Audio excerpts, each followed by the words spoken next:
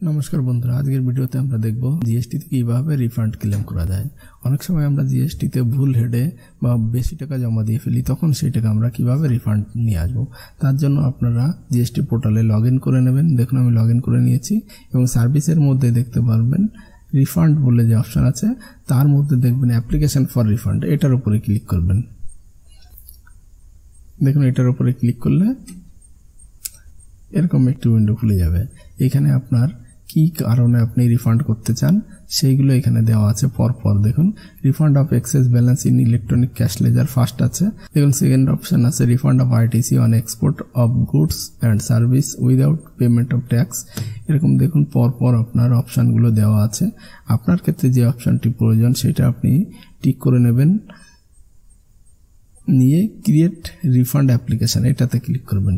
আমার ক্ষেত্রে first option যেটা আছে এইটা আমাকে নিতে হবে refund of excess balance in electronic cash ledger আমি বুলেটে জমা দিয়েছিলাম টাকা, সেটা আমি রিফান্ড করছি, তাই আমাকে ফার্স্ট অপশান সিলেক্ট করে নিয়ে জাস্ট ক্লিক রিফান্ড অ্যাপ্লিকেশান এটাতে ক্লিক করতে হবে। দেখুন, এটাতে ক্লিক করার পরে ঠিক এরকম একটি উইন্ডো খুলে এখানে ফার্স্ট যে আছে আপনাকে, আপনার পোর্টালে কী কী ব্যালেন্স আছে সেটা শো করবে। আমার দেখুন আইজিএসটি ব্যালেন্স আঠারোশো তিপ্পান্ন টাকা সেন্ট্রালে আছে আপনার ফিস আছে সতেরোশো পনেরো আদার্স আছে পাঁচ হাজার, আর স্টেটে আছে সতেরোশো পনেরো ফিসে এবং আদার্সে পাঁচ হাজার। আমার এই আদার্সে যে পাঁচ হাজার পাঁচ হাজার, এটা ভুল হেডে জমা হয়ে গেছিল, এটা আমি রিফান্ড ক্লেম করব। তার জন্য দেখুন নিচে যে দেওয়া আছে, এখানে আপনি কোনটা থেকে কত ক্লেম করবেন আমি দেখুন সেন্ট্রাল থেকে আদার্সের ঘরে পাঁচ হাজার লিখব, আর স্টেটে আদার্সের ঘরে পাঁচ হাজার লিখব। ঠিক এইখানে দেখুন আদার্সের ঘরে ছিল, সেটাই আমি এখানে বসালাম। আমার দশ হাজার আমি রিফান্ড ক্লেম করছি।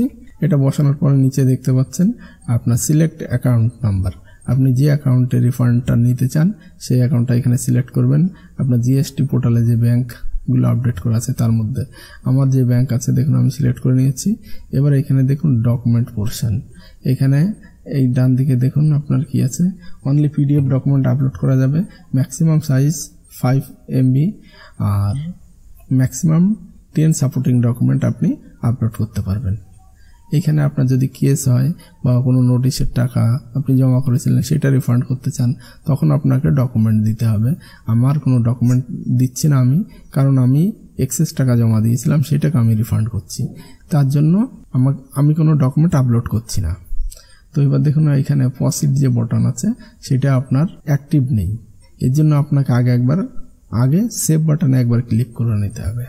সেভ বাটনে ক্লিক করে সেভ করে নিলাম। এবার আপনারা নিচে আসুন, দেখুন পসিট বাটন অ্যাক্টিভ হয়ে গেছে। জাস্ট পসিটে ক্লিক করবেন। দেখুন পসিটে ক্লিক করার পরে এখানে ডিক্লিয়ারেশন আছে। এটা আপনারা টিক করে নেবেন। টিক করে নেওয়ার পর এখানে আপনাকে ড্রপ ডাউন থেকে আপনি যারটা করছেন তার নামটা সিলেক্ট করে নেবেন। আর এখানে ডিএসসি দিয়ে করতে পারবেন ইবিসি দিয়ে করতে পারবেন। আমি ইবিসির উপরে ক্লিক করলাম। ইবিসি ক্লিক করার পরে আপনার মেল আইডি আর মোবাইলে ওটিপি আসবে। আমি মেল আইডি থেকে ওটিপিটা নিয়ে নিচ্ছি। দেখুন আমার মেল আইডিতে ওটিপি চলে আসছে ওটিপিটি যা ওটিপি জাস্ট কপি করে নেবেন, যে ওটিপিটা জাস্ট কপি করে নেবেন এবং এইখানে পেস্ট করে দেবেন, করে ভেরিফাই করবেন। দেখুন, আপনার রিফান্ড ক্লেম হয়ে গেল এবং এই যে দেখতে পাচ্ছেন ইয়ারএন রিসিপ্টটাও আপনার ডাউনলোড হয়ে গেছে। Your refund application is successfully file and ARN is এত। এই দেখুন, আমার রিসিপ্টটা আপনাদের খুলে একবার দেখিয়ে দিলাম। আপনারা যদি রিফান্ড স্ট্যাটাস দেখতে চান, সেটাও আমি একবার দেখিয়ে দিচ্ছি আপনারা রিফান্ড স্ট্যাটাস কীভাবে দেখবেন। তো দেখুন রিফান্ড স্ট্যাটাস দেখার জন্য আমরা সার্ভিসে যাব পোর্টালে লগ করার পরে সার্ভিসে যাওয়ার পরে দেখুন রিফান্ডেই ক্লিক করব। রিফান্ডে ক্লিক করার পরে এখানে দেখতে পাচ্ছেন ট্র্যাক অ্যাপ্লিকেশান স্ট্যাটাস এটার উপরে ক্লিক করব। এইখানে দেখুন ফাইলিং এয়ার এয়ার সিলেক্ট করে আপনারা দেখতে পারেন। দেখুন, আমি টোয়েন্টি দু হাজার কুড়ি, একুশ সিলেক্ট করে সার্চ করছি, এখানে নো রেকর্ড ফাউন্ড দেখাচ্ছে। উনিশ কুড়ি সিলেক্ট করে সার্চ করলেও নো রেকর্ড ফাউন্ড দেখাচ্ছে। দেখুন, আবার কুড়ি, একুশ সিলেক্ট করলাম, দেখুন নো রেকর্ড ফাউন্ড দেখাচ্ছে। এবার আমি এ আর এন অপশান যেটা আছে এ আর এন সিলেক্ট করে নিচ্ছি। আর দেখুন, আমার যে ডেস্কটপে যে ফাইলটা সেভ করেছিলাম রিফান্ড ক্লেম যেটা রিসিপ্ট ছিল, সেটা থেকে আমি ইয়ারেনটা কপি করে নিচ্ছি, দেখুন। দেখুন ইয়ারেনটা কপি করে।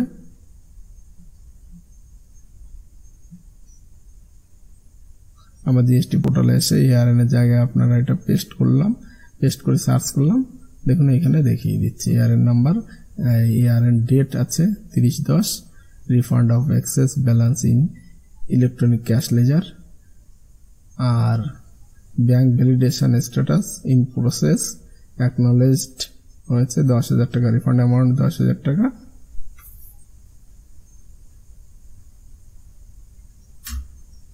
আর ডান দিকে দেখুন আর কি আছে। এখানে ডেবিট এন্ট্রি নাম্বার দেওয়া আছে।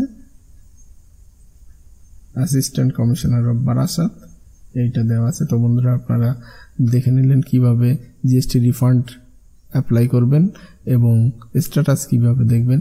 তো ভিডিওটি যদি আপনাদের ভালো লাগে, অবশ্যই চ্যানেলটি সাবস্ক্রাইব করে নেবেন।